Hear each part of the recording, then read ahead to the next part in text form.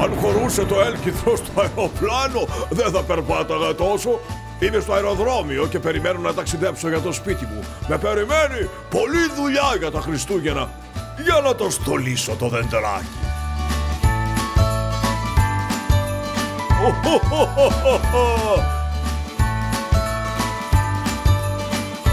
Δεν γίνεται να φύγω χωρίς να μοιράσω δώρα.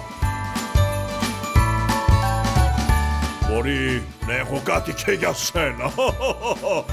Ω, αρκεί να μου πεις σε ποια πρωτεύουσα θα ήθελες να ταξιδέψεις.